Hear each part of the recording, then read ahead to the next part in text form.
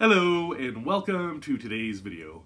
In today's video I'm going to make Donatello from the Teenage Mutant Ninja Turtles using the mold of the little figurine from NerdECrafter's Not Another Craft, no, not another, not, not, not another crap kit. Alright, we'll get started right after this.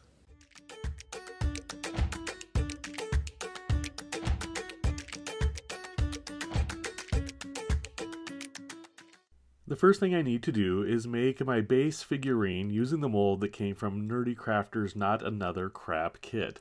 So it comes with some permastone, you take the powder, mix it with the water, following the instructions that came with the kit. Go ahead and pour it into the mold. And then I always tap on the table to make sure to get rid of as much air bubbles as I can and then clean it up. Now I'm going to let that set up, so I'm going to take a little bit of a break. This takes about a half hour to 40 minutes. So I'm just going to relax, watch some classic cartoons. And then once I'm done with this, I should be able to get back to the mold. Yeah, this one's a good one. All right, so we're going to demold our little figurine. I did fill this one up a little higher than my last one. So I'm cutting off the little antenna, cleaning it up. Now I'm going to make the eyes using some UV resin. So I'm just pouring this into the small little half circles, taking my UV light that came with the kit. Oh, it's so bright! And then once that is set up for about 30 seconds using the light, they're ready to demold and go ahead and paint them. I'm going to make my Ninja Turtle wearing a mask, and so I like it when they have their eyes all just kind of a solid white. So I'm just going to paint white on the back of this. It's kind of hard to hold these little pieces. Once that is done, I'm letting that dry. I mixed up some dark green, jungle green actually, with some regular green Premo Sculpey. I rolled that out with my rolling pin, getting it nice and even. Then I add some clay adhesive to that. I'm gonna wrap it around his entire body. So I'm starting with his left arm. That's the hardest part to get because there's such a tight space in between the body and the arm. So I'm just getting that all covered. And then I'll go ahead and cover the rest of his body. I'm gonna wait on the head.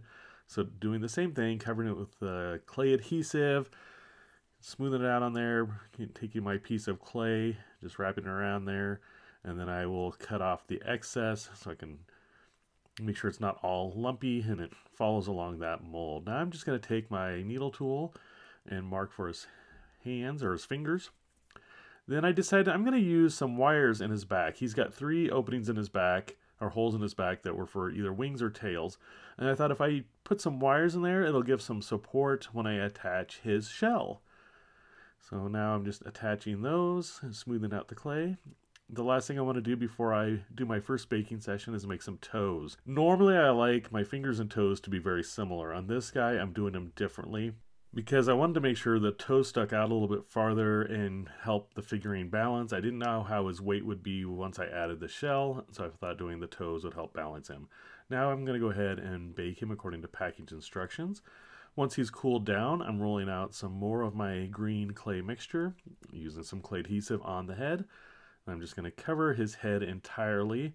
So I just took a big piece, and I'm going to cut off some of these extra parts that have bunched up, and then I'll smooth it out. So I've got him nice and covered. Now once I have the head completely covered, I'm going to go ahead and sculpt out his mouth and nose area. So I'm just getting it the size I want it, get it positioned on how I want his, you know, where I want him facing. And then I am just going to take my fingers and ball tools and smooth that all in so it, you know, blends in nicely with the head sculpt. Once I have that done, I'm using my needle tool to give him a little bit of a smile. Don't want him sad. And then I'm going to use my ball tool to add some indentions to put those eyes in there. I also used my ball tool to add a little bit of texture to him. And my eye sockets were a little bit small, so I'm using my ball tool to round those up a little bit, make them a little bit bigger so my resin eyes fit in there. I don't want my eyes to stick out too far. I don't want him to be bug-eyed, plus I'll have to put his mask on him. And then I decided to add some spots, so I went with even darker green and cut these little pieces out and just made them into balls, pushed them into the clay. And I did them up on his head, but I also did them on his lower part that was baked, and it was fine. Now I'm making his chest piece, and what I did was mix some green with some yellow, and then I'm going to give him kind of a six pack, you know, front plate. And so I've got this all sculpted out and I like the look of it. I used some reference pictures for the turtles, but it's a little too big. So I'm going to go ahead and trim these down. And so I'm just cutting off a little bit of each one and then I'll place them all together, kind of press them so they you know kind of bond together. And then they were a little bit dirty, so I'm using some uh, alcohol, rubbing alcohol with a Q-tip to clean those up. And then I'll use my clay adhesive, rub it on his belly, get him all in there, and then I'll go ahead and press his chest plate on. Now to do the turtle shell, I mix some brown, green, yellow. It's got a few swirls in there you can see. And then I took it, some foil, covered it to get the shape of my turtle shell. And then I went ahead and went around the outside to give him that little bit of a ridge around it. Just kind of press it in. I use my ball tool to smooth it in on the inside. And I also added some texture. And you see I'm going to smooth it in on the outside as well. And then I'm going to draw my turtle pattern on there. Is it a turtle pattern? I'm going to draw a pattern onto the turtle shell. But anyway, so I'm going to do a little bit of a pattern on here. Once I'm happy with that, I'm going to stick that on where those wires are sticking out. And I do use some clay adhesive when I, for the final press, I just want to make sure it lined up okay. And now I'm adding some texture with a small ball tool to each individual section. Now I'm going to go ahead and bake this according to packing instructions. So we just finished our second baking session. Now I want to add a bow staff since it's supposed to be Donatello. I was going to put it in his right hand, but I felt like it blocked his face a little bit. So I changed my mind, decided to put it in his left hand, but then I needed something for his right hand. So I went ahead and sculpted him this little love letter that he's going to give April, and then I sculpted his bow staff for his left hand. We'll set those aside and I'll bake those with the final baking session. Now I mixed some black with some of my brown to give him a dark brown belt. I wanted this to have a different contrast or different color so it didn't blend in with like the bow staff and the shell as much. So I made him this little belt to wrap around his shell and then I had to tuck it in under his arm, get it in there. And then at the front, I wanted to make it look like, you know, well, he's got to be able to put his belt on. So I just took this little jump ring and connected the two pieces or make it look like it's connecting the two pieces. And then I added some texture to it. And now I'm going to go ahead and make his mask. So I rolled out the clay and then I'm pressing it against his face and you can see here I did indentions where his eyes was well, eyes was his eyes are and I thought this is perfect because this will give me a template of where to cut out and make those eye openings for his eyes in the mask so I'm trimming those out and I'm smoothing the clay around there so it doesn't look all rough and then I can put this onto my Ninja Turtle and it should line up perfectly with his eyes so I'm just taking some more of that clay adhesive since my figure is completely baked and pressing that in and it does line up perfect. I'm very happy with this. Bringing it around and now I want to have a couple of pieces of the mask hanging down. So I adding some texture to it first. I don't want it to be perfectly smooth.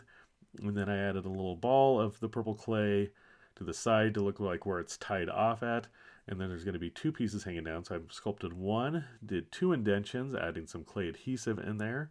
And then I'm going to go ahead and put those in place. I'm starting with the first one, trimming off the edge, and then I'll go ahead and sculpt the second one and put that in place.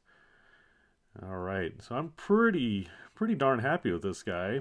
Worked out really well. I'm gonna go ahead and bake him his final time according to package instructions.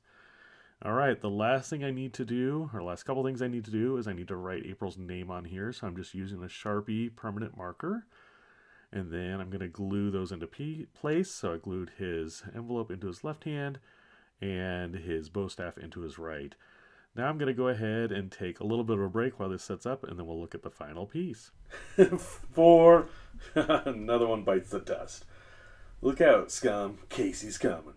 And here is the finished Teenage Mutant Ninja Turtle Donatello using the mold from NerdECrafter's Not Another Crap Kit.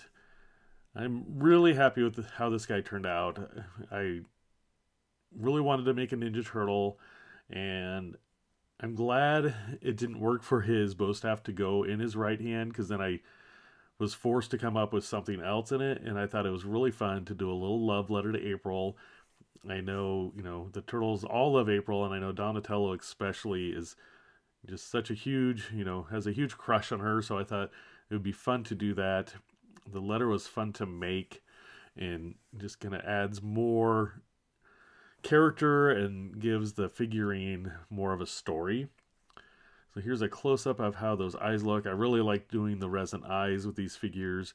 It adds kind of a mixed media to it and makes it more interesting. You can see them from some different angles. I had a lot of fun making this piece. If you enjoyed this video, be sure to give it a like, and if you haven't already done so, please subscribe to my channel. Here's a comparison of Donatello with my previous figurine using this mold, the Mummy. The Mummy took about eight hours, but I had to paint him. The Ninja Turtle took a little under seven, which so I spent a lot more time sculpting, but didn't have to paint him. All right, well, thanks for watching, and remember, never stop creating. Bye. Hey, if you're new here, you probably haven't seen my mummy video, which I did before this video, so be sure to click that picture up there and watch that video.